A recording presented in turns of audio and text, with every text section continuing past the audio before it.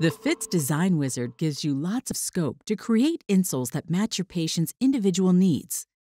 You're in control. You can choose the default design or to use your clinical judgment to make your own adjustments. You can also see your design changes come to life as you make them. In this tutorial, we'll walk you through the software explaining each feature step by step. Design Selection Screen When you open the Design Wizard, the first screen you see is the Design Selection screen. This is where you choose the Phits Plus type. Click the arrows to see the different options. Next to the type, you can also decide on the usage of the insoles. This influences the available shoe types and the proposed top layer of your insole. You can choose between daily, sport, and safety shoes. For daily shoes, choose either comfort, narrow, or wide fit. Sports shoes have three options running, soccer, or golf. Finally, for safety shoes, like daily shoes, you again have comfort, narrow, and wide shoe types. You can also choose the assembly of the insoles. They can be full length or three quarter length assembled, ready to be put straight into your patient's shoes. You can also order full length not assembled if you want to assemble them yourself when they arrive. And we can also send them without a top cover. Just select the No Top Layer option. You can order a pair of insoles, but you also have the option to order only a left or right insole. Top layer. In the insole properties, you can change the size of the top layer and the base. Ideally, there should be just one UK size difference between the two components. But of course, if your patient is wearing shoes that are too small or too long, the difference can vary. Just remember that the UK size of the base cannot be larger than the size of the top layer. You might find the 2D view useful to help you decide on the sizes of the printed base. Keep in mind that it is a dynamic pressure image, so your patient's foot might appear a bit longer than it is. In the top layer screen, you can decide on the top layer properties of thickness, hardness, and material composition. The thickness can be 3 or 6 millimeters. Thickness is based on the usage that you selected on the first screen daily, sport, or safety. You'll also see a recommended hardness based on your patient's weight. The lower your patient's weight, the lower the recommended shore value, and the higher your patient's weight, the bigger the recommended shore value. A Shore 20 PU soft top layer is never recommended and is always at your own clinical discretion. By adding the PU soft top layer, you add more cushioning to the insole cover. You can order the top layers with or without the synthetic leather finish. The synthetic leather layer adds a bit more durability and gives the insoles a more luxurious look. The heel padding option allows you to add local cushioning in the top cover. We have three solutions fat pad, heel spur, and plantar fasciitis.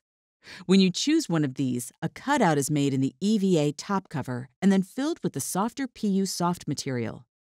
A thin EVA or synthetic leather layer is added on top of that. In the zone width screen, you can adjust the width of the insole in general or in three separate predefined zones. You have the metatarsal area, the midfoot area, and the heel area. By clicking on the plus and minus symbols below the insole, all three zones can be adjusted together.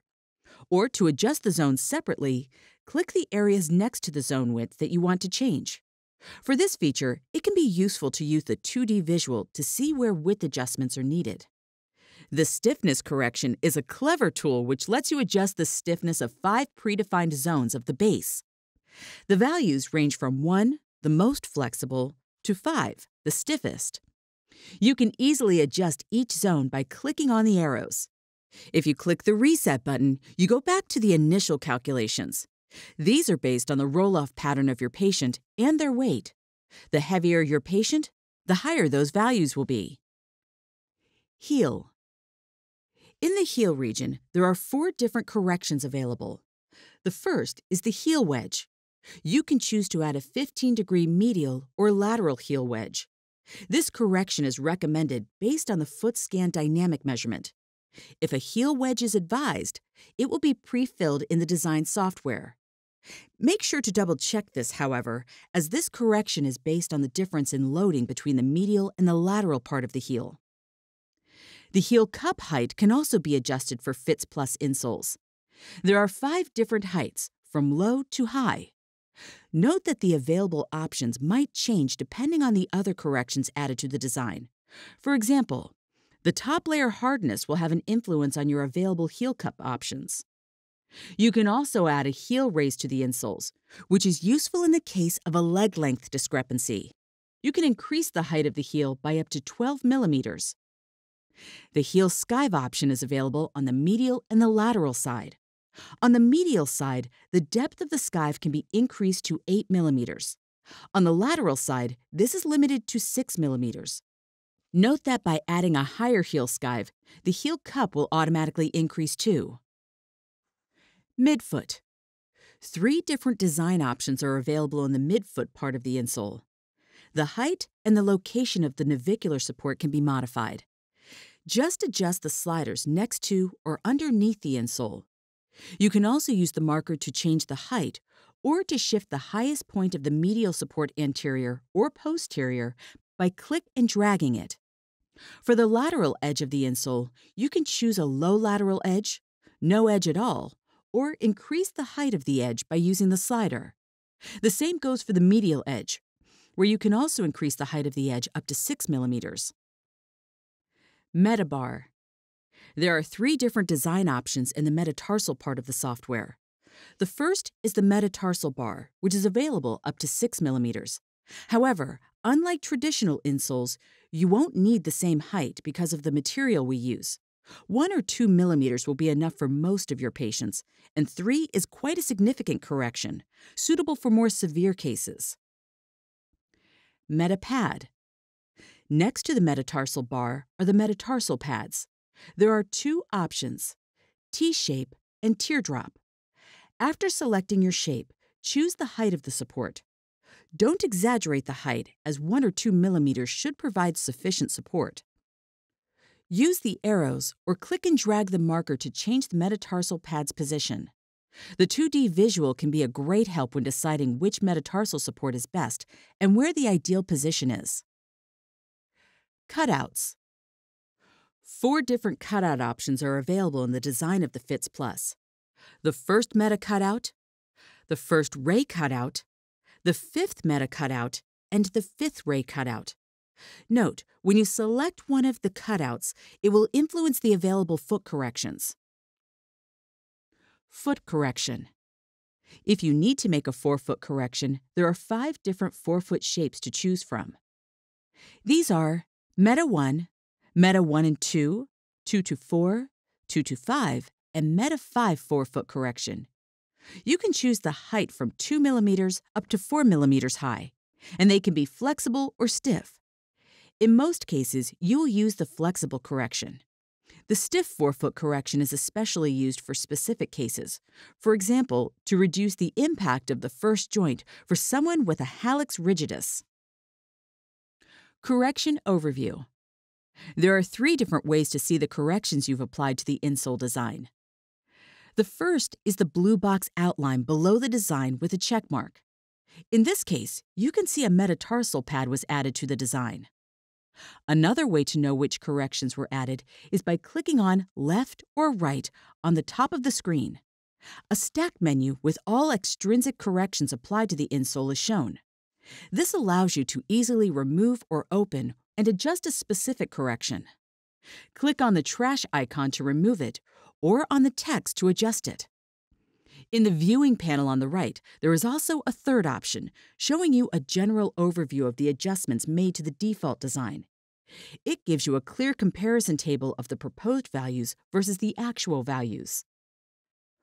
Order button. The order button is always active during the design process.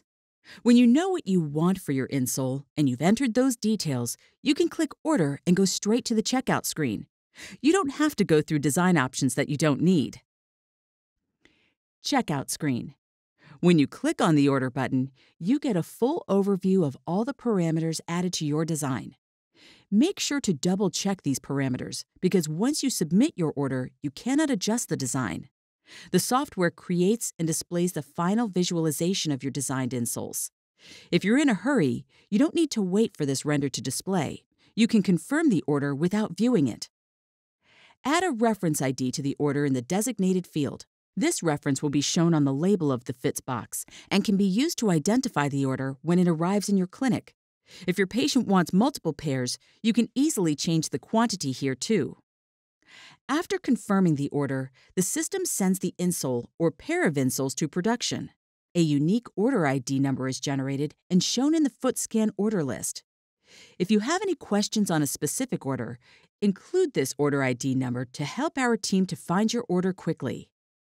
Now that we've explained the features of the Materialise Phits Suite Design Wizard, you've seen the benefits it offers you and your patients. Remember that you can always use the reset button to return to the default values. If you hit the reset button by mistake, don't panic. There is a second button asking you to confirm that you want to reset. And the Materialise Motion team are always here to help if you need us.